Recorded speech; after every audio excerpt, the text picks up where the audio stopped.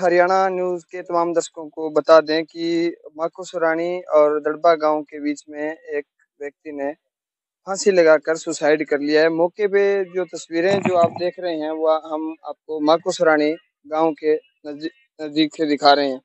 यहाँ early morning की बात करें, सुबह की बात करें, जैसे ही पुलिस को मैसेज मिला है यहाँ चर्चा ये है कि नौ बजे के लगभग है, एक व्यक्ति ने यहाँ पेड़ से फांसी लगाकर सुसाइड कर लिया है। हमारे साथ मौके पे जो चौकटा थाना पुलिस है, उनकी टीम यहाँ पहुँची है। एस आई चंदन सिंह जी हैं एस आई मनीष यादव हैं, उनसे भी बातचीत करेंगे और वो बताएँगे कि पूरा मामला क्या है और क्या कुछ इस बारे में जानकारियाँ मिली हैं, ये व्यक्ति कहाँ का रहने वाला है, क्या इसकी परिस्थितियाँ हैं, वो तमाम बातें हम उनसे जानेंगे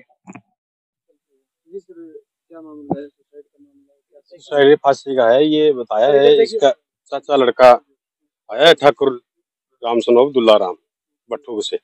इसने बताया कि भाई ये तीन चार साल से अपसेट था जो इसका लड़का पानी में डूब के मरने से इसे मानसिक परेशानी रहा करता।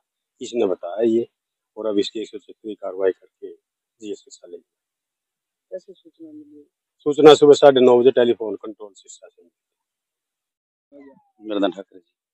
अच्छा ये आपके ये मेरा ताऊ का लड़का है जी। इसको चार पाँच साल पहले एक बच्चा इसका नहर में डूब के मर गया। चार पाँच साल का था।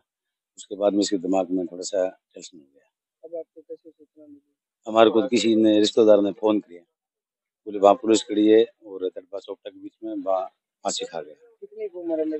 लगभग चालीस साल की और बच्चे कितने और इसके दो बच्चा है दो लड़की है। दो लड़का दो लड़की शादी शुदा दो लड़की शादी हुई है लड़का कुमारा है छोटा है लड़का। साइड के पीछे का कारण मानसिक परेशानी है या कोई और आपको कोई दवा नहीं नहीं नहीं और कोई दवा नहीं कोई परेशानी नहीं बस ये दिमाग हाँ ये दाढ़ी मजदूरी करता है रुपाने रहता है मेटल है कभी दो किलोमीटर इधर चले जाता है कभी इधर चले जाता है इसको और कोई नहीं। हाँ ये दिमाग में मेटल कि ये जो व्यक्ति है ये अ, काफ़ी दिन से मानसिक परेशान था इसका एक बेटा था जो नहर में डूबने से जिसकी मौत हो गई थी।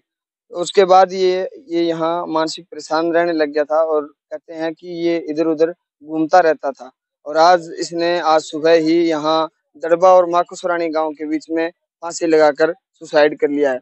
ये तमाम जानकारियाँ आप देख रहे थे बेधड़क हरियाणा न्यूज़ पे। मैं आपके साथ सतवीर सारण कैमरा पर्सन जोनी शर्मा के साथ। धन्यवाद।